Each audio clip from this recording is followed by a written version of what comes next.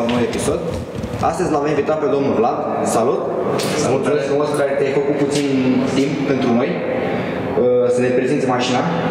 Este un uh, Nissan Skyline, nu? Da. R34 GTT.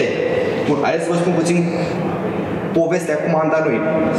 Fără să vrem, Da, exact. ne-am întâlnit, a fost ce- ceva spontan, haideți să facem un clip repede, cu un interviu, ok, foarte deschis, domnul Vlad, nu ne așteptam la asta, îți mulțumim mult încă o dată.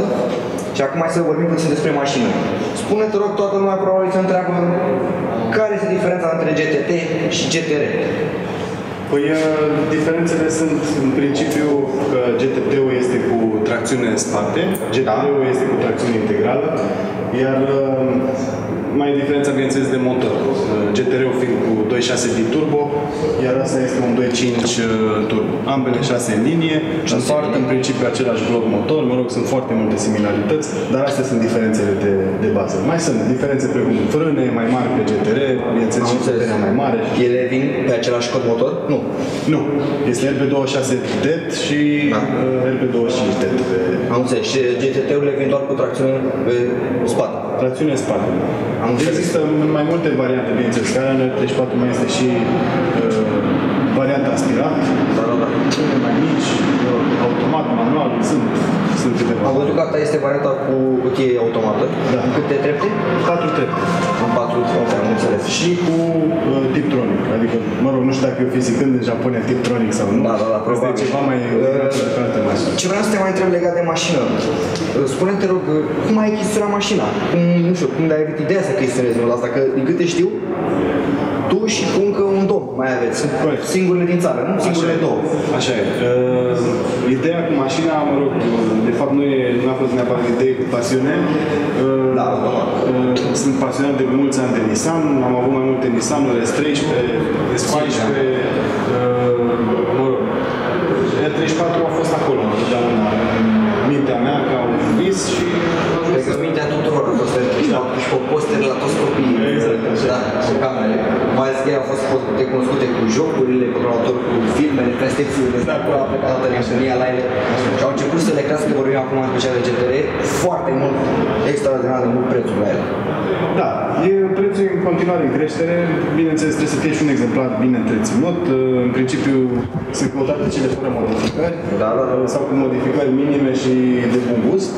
Aș zice, dar da, prețul este în continuă creștere la ele. E o nebunie, cred că o modă mai mult acum, mai ales în ultimii ani.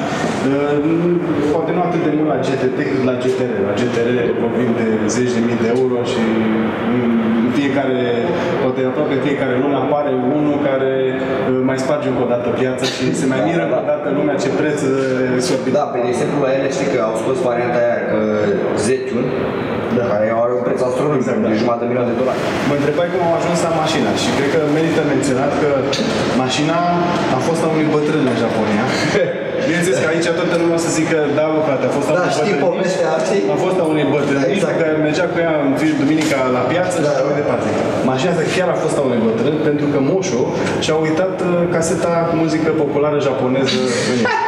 Ce tare e faza asta! Bănuiesc că tu ai și pe contract, nu? Numele lui tot. Da, da, da. da.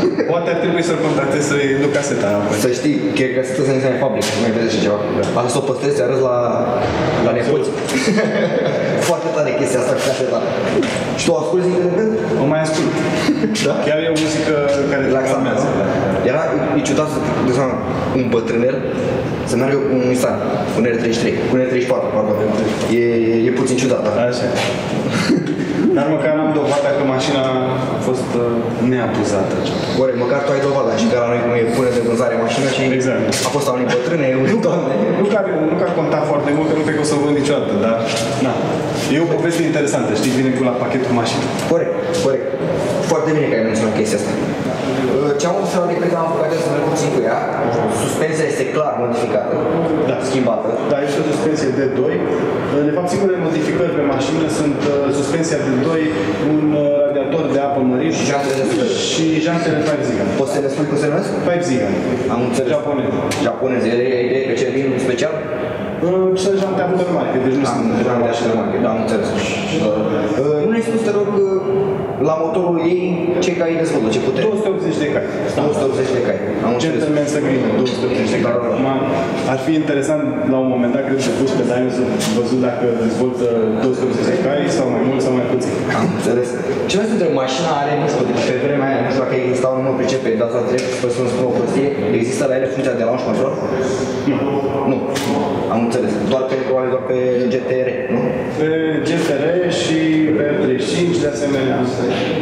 Am înțeles. Cum e cu ea? Ai probleme la, nu știu, de exemplu, la ce ține de mentenanță, piese, schimburi? Foarte mare problemă. Tot, totul se importă, nu? Bineînțeles, adică în momentul ăsta dacă ne uităm pe site-urile cunoscute de piese auto și vrei să-ți cumperi, nu știu, filtrele uzuale, curele și așa mai departe, nu, în principiu nu vei găsi numai pe comandă. Programul ți-o recunoaște? Uh, unele programe da, pentru că ținerea de șasiu e una tipică, una scurtă față de majoritatea mașinilor. Uh, iar dacă te uiți așa să găsești, nu știu, dau un exemplu, nu vreau să fac reclamă, e piesă.ro, da, de exemplu, că e mai Da, cunoscut. da, e cel mai cunoscut, practic. da. Așa, uh, vei găsi maxim un filtru de ulei. Atât, în rest niciun fel de piesă. Adică nu totul, să înțeleg, import din Japonia. Nu neapărat din Japonia, adică se găsesc în UK, în, nu se mai găsesc. Dar la noi în țară... Dar la noi în țară nu mai găsesc. Sau de la reprezentanță direct, dar uh, cu prețurile Fiind atât de, practic sunt două, cum am spus, din ce am mai făcut noi cu ceilalți proprietari care aveau mașini mai destul de rare, ei tot timpul aveau o problemă la matriculare la rar.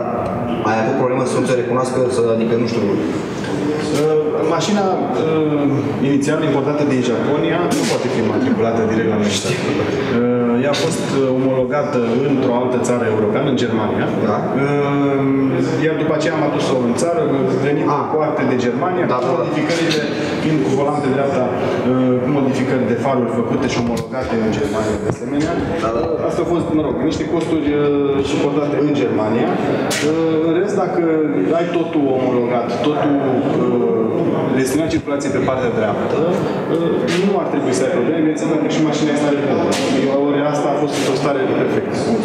Uh, R34 a venit, au venit și cu volan pe partea stângă. Nu, nu există. Deci doar Nissan sunt Skyline- GDM, Da, Japonia. Nissan Skyline nu se fabrică cu volan pe stânga, doar modificări ulterioare. Am înțeles, versiunea asta noi ai văzut acum vin și cu și Da. alegi. Da, da, da. Și la bănesc la R34, la R33 la fel este, nu? Corect, și la R32, deci Toate, da, da. Deci de la ultimul R35 au început să fabrice pe piața Exact. europeană, Exact. americană, da. Uite, știrile sunt, cum se spune între ghilimele, ilegale în America, nu? Cum spun americanii. Ilegale, sunt ilegale în America uh, oficial din cauza uh, emisiilor. Nu neapărat din cauza puterii sau a...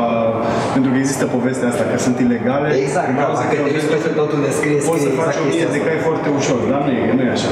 Sunt uh, ilegale din cauza emisiilor și devin legale, uh, dacă bine mi-aduc aminte, sper să nu greșesc, după 30 de ani uh, de la Fabricare. fabricarea modelului.